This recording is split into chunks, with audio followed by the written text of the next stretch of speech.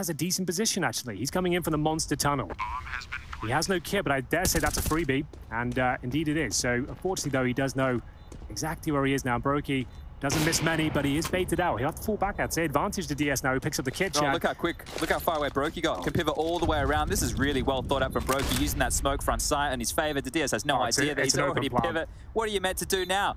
The, yeah. He has no idea that Broky's gotten this far away. It was instant. Through the smoke, into the water, and now all the way around to the heavens. He just has to make sure he peeks in time and secure. there you wanted to look up first. Look at me before I strike you down, boy. Oh, Lord. he just waited. It's like, make sure he sees it. I want him to know.